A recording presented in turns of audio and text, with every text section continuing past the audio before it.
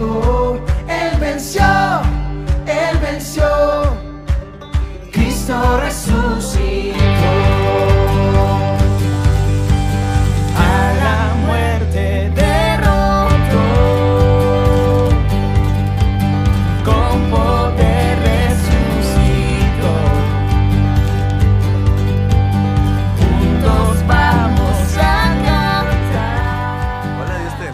Estás? Espero que estés súper bien, que el Señor te esté prosperando, que el Señor te tenga feliz. Y si no lo estás, pues hoy te vengo a decir en el nombre de Cristo, alégrate.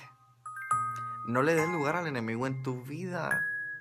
No dejes que el enemigo se goce viéndote ahí sufrir. No le des lugar en tus emociones. Porque la palabra del Señor dice que sobre toda cosa guardada guardemos nuestro corazón porque de él mana la vida. Así que hoy vengo en el nombre de Jesús a decirte, si estás mal, levántate, no te dejes caer. Tú tienes un padre que está esperando por ti para que tú doble las rodillas y le digas, Señor, aquí estoy, ayúdame, dame fuerzas. ¿Ya tomaste tiempo para hablar con él? ¿O solo le has reclamado? Háblale como tu mejor amigo, dile cuánto le amas y cuánto le necesitas. Y esfuérzate por servirle y serle fiel. La palabra del Señor nos dice, mira que te mando que te esfuerces, que seas valiente, no temas ni desmayes, porque yo, Jehová, tu Dios, estaré contigo. También nos dice que Él estará con nosotros hasta el fin del mundo. Qué promesas tan grandes, pero ¿te has vestido tú de esas promesas? ¿Te has vestido de esas promesas maravillosas que el Señor nos deja? ¿Has leído la Biblia? Cristo te ama, te ama mucho, mucho, mucho, mucho. Y tú eres su especial tesoro, pero te pide obediencia. Te pide que le busques, te pide que escudriñe la palabra, para que nadie te pueda engañar, para que el mismo enemigo no te pueda engañar, porque cuando venga el momento de la aflicción, cuando venga el momento de que el Señor te provea algo, tú puedas decir, Jehová mi pastor y nada me faltará. Cuando llegue el momento donde te quieran acusar, donde te quieran atacar, tú puedas decir, aunque acampe un ejército contra mí, yo no temeré porque Dios está conmigo. La palabra del Señor dice que por un camino vendrán contra ti, por siete tendrán que huir.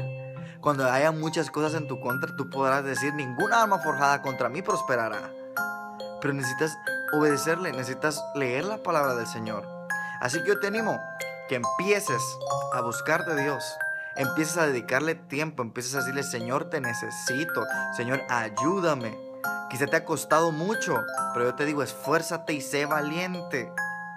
Morir a uno mismo cuesta, cuesta, cuesta, cuesta, porque la carne para eso fue hecha, la carne eso quiere, pecar, pecar y pecar. Pero yo te digo, Cristo puede hacer lo imposible posible en tu vida. Lo que para ti es imposible dejar, con Cristo tú lo puedes dejar. Tienes que rendirte a Él, tienes que darle tu corazón. Así que yo te animo a que digas, Señor, te amo, te necesito, ayúdame a hacerte fiel. Porque el día viene. Cristo viene. Él te ama con todo su corazón. Pero si no te arrepientes, Él no te puede salvar. Tienes que luchar por tu salvación. ¿Qué estás esperando?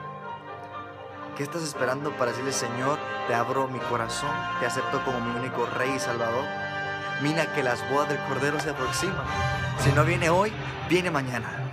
Si no viene mañana, viene dentro de un año. Pero si no viene dentro de un año, viene dentro de diez. Pero ¿de qué viene? Viene. Así que debemos de estar preparados, preparados para ese momento glorioso, estar limpios, sin mancha sin arruga. Dios te bendiga. Si te gustó este video, compártelo con tus amigos. Dale like en Facebook, Instagram, Twitter. Estamos en todos lados. Comparte la palabra del Señor. No te avergüences del Evangelio porque es poder de Dios. Y no te avergüences de decir que lo amas. Porque Él te amó primero. Hasta luego. Él venció, Él venció, libertad me entregó. Él venció,